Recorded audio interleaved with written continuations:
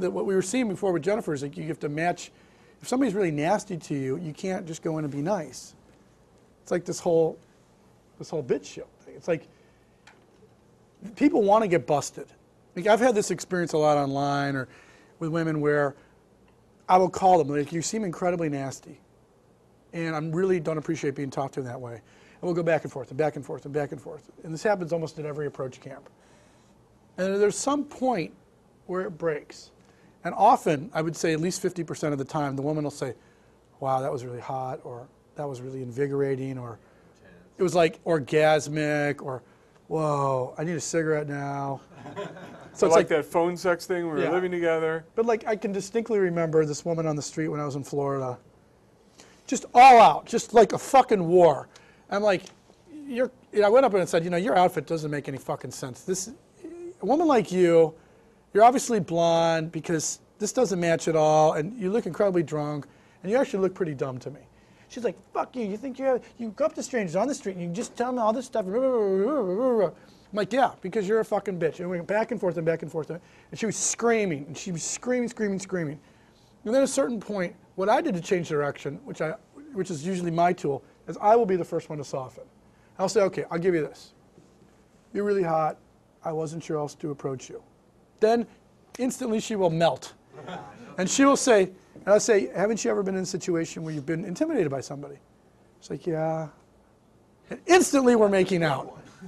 But instantly the next thing is tongue and mouth on the street. And that's, that's sort of been a repeating theme for me. Your Not- whole life, basically. I mean, you know, not always to that extent of instantaneous, but the reason we want to keep it in there is that we said this earlier. I think this is the major point: is a boring guy.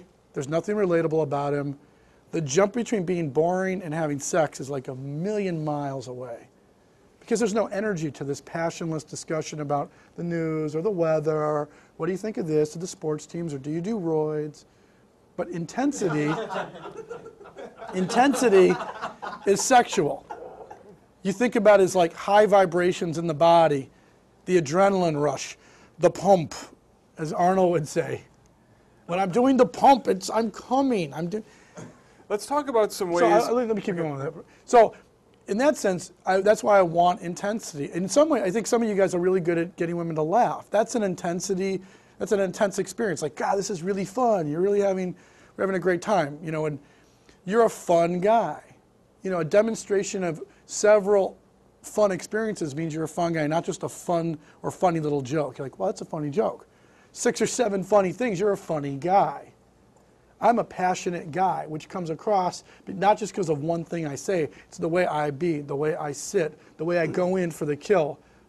I don't know much about like ultimate fighting, but like this guy Royce Gracie, the way he's fighting, he's on top of the guy. He will not get off the guy. You know, and like there's something about that analogy for me, is with this anger thing. I'm not going to let it go. I'm not going to get off this fucking point. I'm not going to soften. I'm going to push into this until you tap out, essentially, or until you change, or until you apologize, or until you get really fucking angry and storm out. I'm going for something. And if they don't really change it really instantly on the spot and go somewhere else, I will do that. I'll say, this is too much, you're scaring me, I'll make a joke.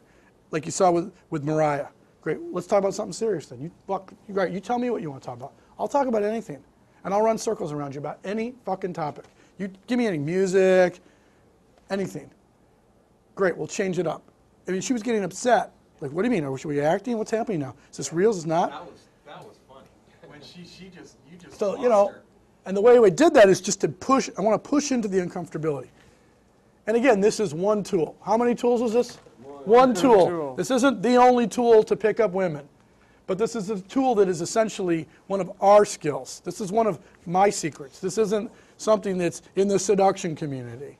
This is how I, this is like a personality thing.